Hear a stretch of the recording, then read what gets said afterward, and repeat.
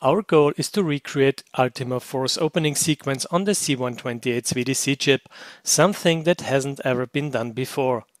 On the left hand side we have the C64 version and on the right hand side we see the IBM PC's EGA version. Let's find out how the C128's VDC version compares to these. This is part 2. In the previous video we already went through all the animated text except for the actual title of the game, Ultima 4, which just appears without any bells and whistles.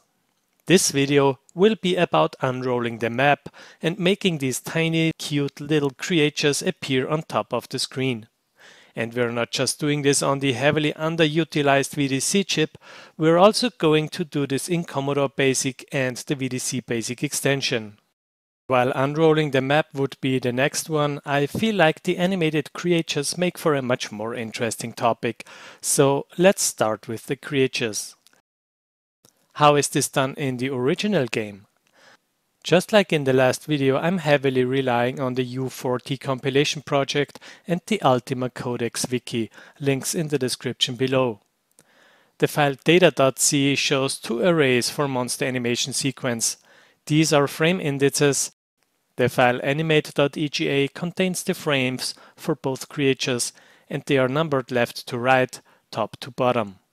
The fact that the frame indices have repeating numbers makes me think that the frame rate of the animation is fixed. Longer poses just have more of the same frames. First part was to get the frame indices into the program code. I used data statements. That was the easiest thing to do for a start. After that, I converted the bitmap file to the VDC chips format. This was mostly the same procedure I used for conversions in the previous videos already. Then I made sure the animation frames are stored in VRAM in a way that makes them easy and fast to read. When looking at animate.ega we see the first line of the first frame, after that the first line of the second frame and so on. That's good for looking at the frames for humans, but it's not the optimal way to store the frames in VRAM. We store them in a way that all the lines of a frame are stored together. Doesn't look great, but is much faster to bring to the screen. And when we reduce the screen width to 12 bytes, which is the width of one frame, we see that everything is in order. Now we still have a challenge to master. VDC Basics VMC command can only copy continuous memory areas. Copying 32 lines would require calling VMC 32 times from BASIC and 32 loop iterations in BASIC are slow. So I had to extend the VMC command. So far we had source address, target address and the amount of bytes to copy as parameters. Now we also have number of repetitions and target memory address increment per repetition. So adding 32 and 80 as new parameters does exactly what we want. It calls block copy several times from within machine language. Each call skips the provided number of bytes on the target address. With a single command, we can now copy a full animation frame from off-screen memory to on-screen memory in VRAM.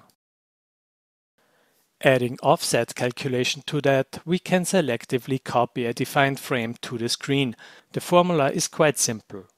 32 lines with 12 bytes each means each frame occupies 384 bytes of screen RAM and due to the nature of how the color cells are configured, 192 more bytes for attribute RAM. Frame index times 384 or times 192 gives us the source address offset for a frame. Target address is 0 for the left creature and 79 minus 12 for the one on the opposite side. As we have a fixed number of frames, we can pre-calculate all these values. That leaves us with four arrays, one screen RAM and one attribute RAM array for each creature. And this is the loop that displays one frame after the other. SL and SR are screen RAM source locations for the left and right creature respectively. AL and AR are the same for attribute RAM. We get these values from the pre-calculated arrays. Then we call syn, which means the program waits until the screen is drawn. Then we copy screen RAM and attribute RAM of the left creature and the same for the right creature. Then we enter a loop that takes care of the correct speed of the animation. Let's see this in action. By the way, I didn't yet make sure that the EGA graphic files meet the VDC chip's color constraints, so the creatures will look a bit weird. Now we can see both creatures on the screen animated. While I like the monster animation so far, the original opening sequence has them sliding in from the top while being already animated. Can we do this? Yes, and it's easier than you might think. We already had a sliding graphics before, so all we need to do is not to copy the full frame to the screen for the first 16 steps or so, just copy the last two lines, then the last four lines, then the last six lines, and so on. Always copy them to the top left or top right. The formula took me a bit to be correct, but I finally made it. I created an array for pre-calculated values again, and the significant difference to the previous animation is that this offset is now taken into account. And here's the result, the creatures are sliding into the view. I know I say this in every video, but I just can't help myself being so excited that something like this can be done in Commodore BASIC with the help of a small BASIC extension. The VDC chip and especially its 64 kilobytes of VRAM make the C128 so much more capable than the C64. The offset calculation for the sliding in takes a little bit of processing time, even though we just do a lookup. Still, that's not needed once the slide in is done, so I decided for the easy way and just separated this in two loops. Once the final rendering position is reached, animations continue with fixed locations. With Creature Animation solved, let's go back to what we've been working on in the last video. The last step of the sequence was that Quest of the Avatar appeared. And next we will have to unroll the frame containing the map. To keep things simple, let's unroll the border first. And once that's done, we'll take care of the tiles inside. Unrolling the border is not too hard. We have all of it loaded from the title EGA file, ready to be used in the invisible part of VRAM. What we'll need to do is to copy this to the visible part of the screen, starting with the middle column first. Each column is actually 2 bytes wide, and then, step by step, we add one column on each side until we reach the border of the screen. The change we made to VDC Basic about repeated execution of the VMC command should make this easy, right? But no, we only increment the target address by 80 bytes. The source address would just continue with the next pixel. But it would also need to skip 80 bytes to read from the next scan line. To also increase the source address, we'd have to call VMC over 100 times from BASIC, 96 times for the pixels and 48 times for the colors. Or we would need to extend VDC Basic again to allow for increasing of the source address with each repetition. And that's what I did.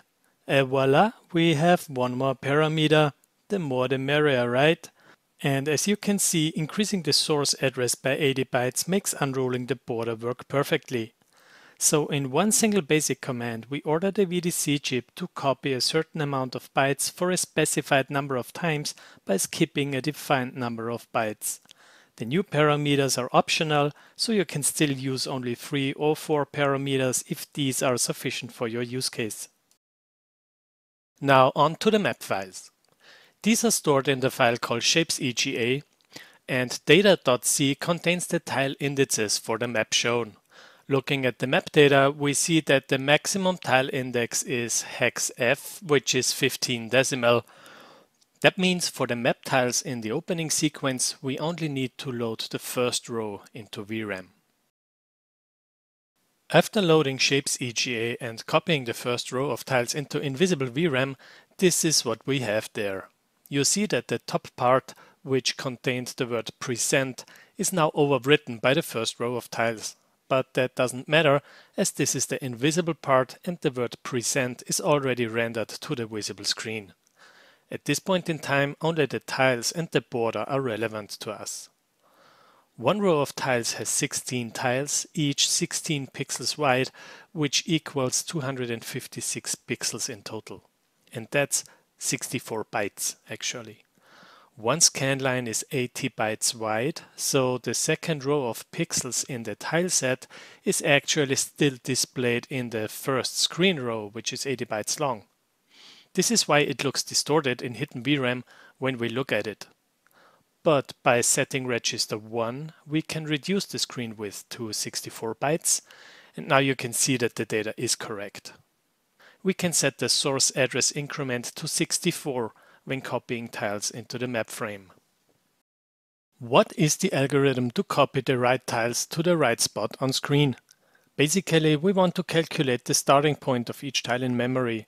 For this, we'll iterate over the data from data.c.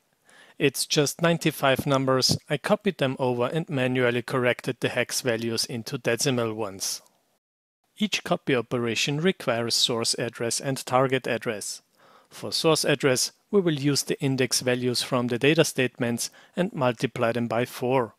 By 4 because originally each tile takes up 2 bytes. But as our native resolution is 640 pixels instead of 320, we're duplicating them. So here one tile consists of 4 bytes instead of 2. Four additions, by the way, are faster than one multiplication, but that wouldn't even matter here. Next, we calculate the target coordinate for screen RAM and for attribute RAM in T and T2 respectively. O1 and P1 are the offsets for screen and attribute RAM. XT is for the X target coordinate, the column, we set this to 2 because the bytes 0 and 1 are occupied by the blue border, so we will start with value 2 as the target coordinate. YT is the y-axis offset for the tile. In pixels, one tile is 16 scan lines high, for colors one tile is 8 scan lines high.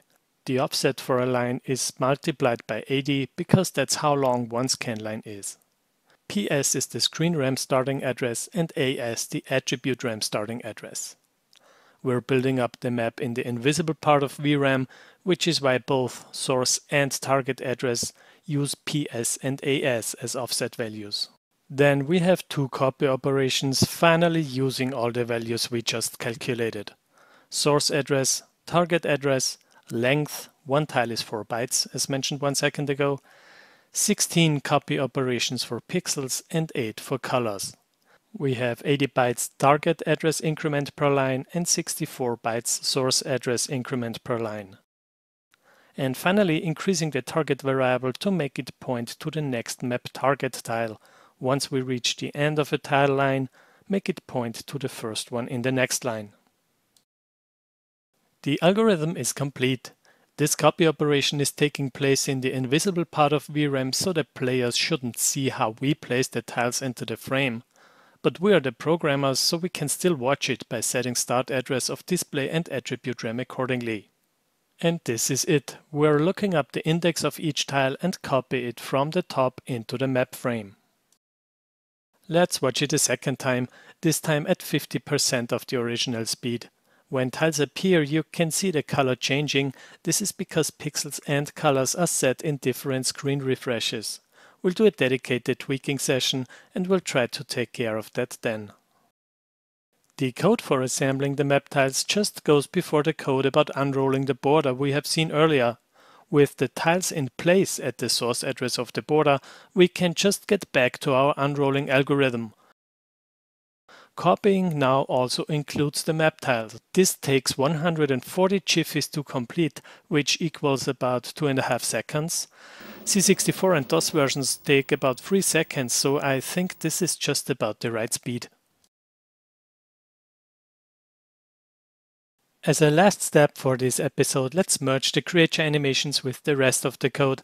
We're done with everything that we had in hidden VRAM so far, so we can just copy the creature animation frames to the first byte of the invisible memory area. Basically, I just merged the code about the animated creatures after the code for unrolling the map. In the next part of this series, we will deal with animating the water, moving characters on the map, and maybe even playing background music. Now let's watch what we have so far. If you enjoyed this and you don't want to miss the final part of this, please like and subscribe. Thanks for watching, see you next time here on the 8-Bit Theory.